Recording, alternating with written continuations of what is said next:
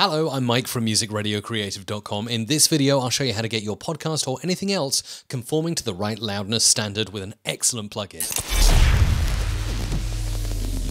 In this video, I will demonstrate the FabFilter Pro L2 plugin for meeting loudness standards. FabFilter are a part of the awesome audio giveaway during this summer of sound. If you'd like to win this plugin and a whole load more audio gear and goodies worth nearly $10,000, go to mrc.fm slash giveaway. That's mrc.fm slash giveaway.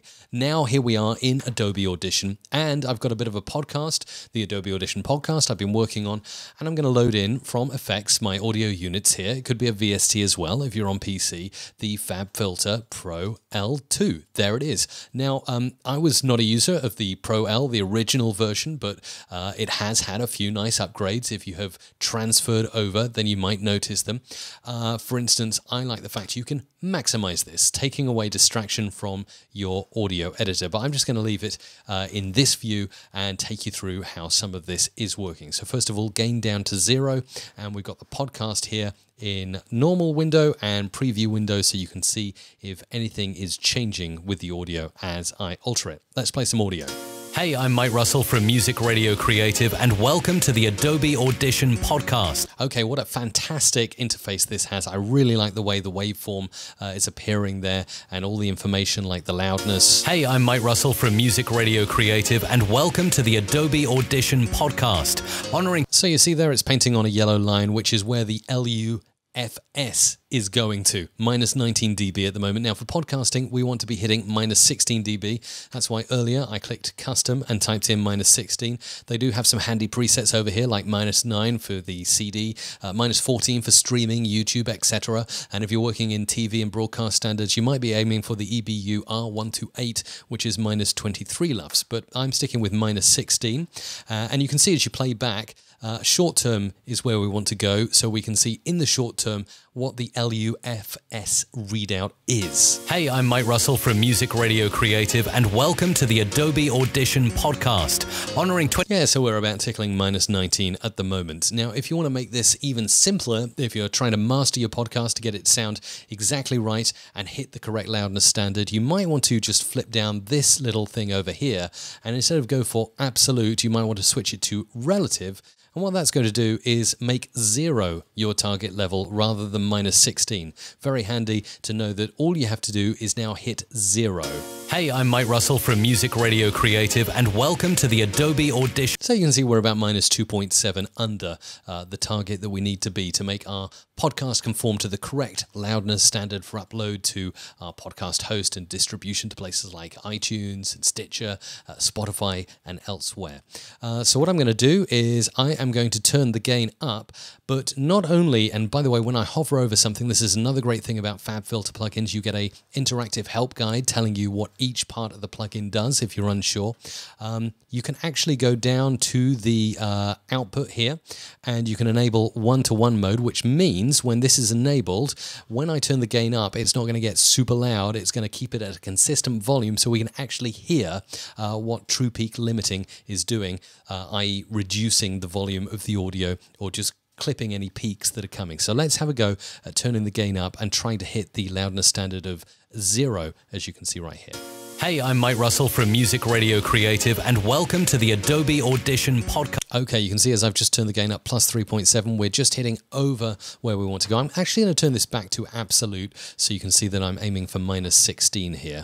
Hey, I'm Mike Russell from Music Radio Creative, and welcome to the Adobe Audition podcast, honoring 25 years of Adobe Audition. In this series of 25 episodes, I will interview power users of this awesome audio editing software. Okay, we look to be hitting a pretty good place there now. Back to relative, so I can see that I'm hitting just below and no pluses. Hey, I'm Mike Russell from Music Radio Creative, and welcome to the Adobe Audition podcast, honoring 25 years of Adobe Audition. In this series of 25 episodes, I will interview power users.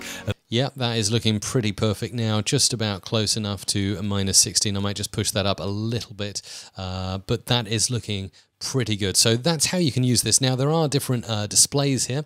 Uh, like, for instance, you've seen this wonderful scrolling waveform, but you can change the view. Hey, I'm Mike Russell from Music Radio Creative, and welcome to the Adobe Audition podcast. So this one will just scroll along instead of starting a new page. You've also got slow motion, which is pretty cool. Hey, I'm Mike Russell from Music Radio Creative, and welcome to the Adobe Audition podcast. As you can see, that slowed things down quite considerably. Or you can click this one. Hey, I'm Mike Russell from Music Radio Creative, and this is actually an infinite display, so this will keep on filling up the screen and making it smaller and smaller and smaller, so you can really check over time that you're hitting your loudness standard of minus 16 there and that's looking absolutely fantastic. So that is how you would use the FabFilter Pro L2 uh, to hit the correct loudness standard of minus 16 there uh, for your podcast episode. And as you can see in the preview window, it hasn't really affected things. It's had no peaks to a limit at all in this instance, so everything is fine. Once we're happy with the settings here, we can just apply.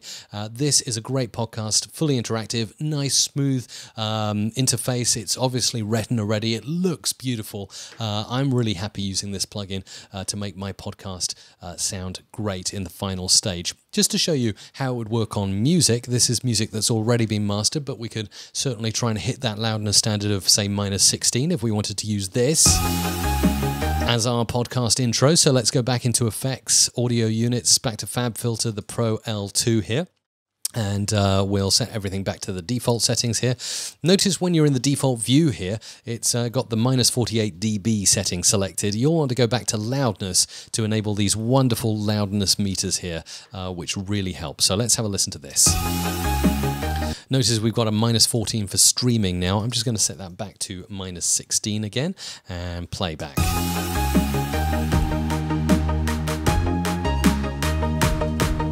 So that's actually pretty good. It's already at minus 16 LUFS, as we can see there. Beautiful. I do want to show you finally, before I conclude this little tutorial, how the true peak limiting really works when it kicks in and how the advanced controls work over here. So let's do that. Let's play this audio back. I'm going to ride the gain right up, uh, leaving on that one-to-one -one kind of unity setting so that we're not blasting your ears out when I turn the gain up. You can actually hear how the limiting works as opposed to uh, the the audio just simply getting louder. It's it's easier to hear the bite of the limiter uh, with the one to one setting there, which is great. Uh, so playback and let's turn the gain right up, and you'll see the limiting kicking in when you see red bits at the top. Okay, at this point I'm just turning this down. You can actually see it starting to bite quite nicely, and the further I turn this up, that's got a real kick there. And you can really hear it whacking in there as the music kicks in, further and further it's going in and kicking in uh, and then turning it back down because that's obviously way too much true peak limiting. Now this is just a, a little bit of, of, true peak limiting going on, and it's lovely the way that it's it's picking up and marking off the the dB there that it's uh, it's pulling the audio down by, which is fantastic. So a really good display. Uh, and you can see here in the preview window how it's uh, crushing that audio down. Can you see that?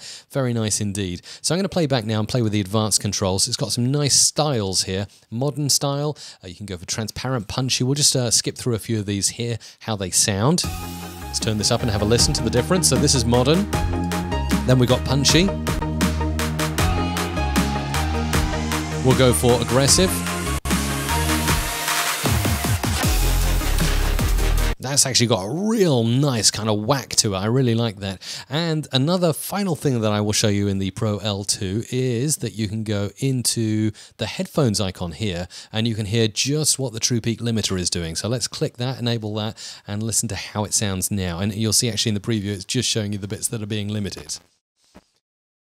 So you hear that little crackle and what you might want to do is just change the attack and release until you can hear more of the music breaking through.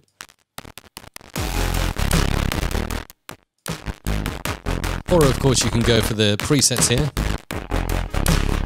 That's punchy. That's punchy has got a real nice sound to it. Dynamic. Distorty. Transparent. Safe. So we'll go for punchy, uh, so not transparent, punchy, switch that off, uh, go back, switch the headphones off and listen to this.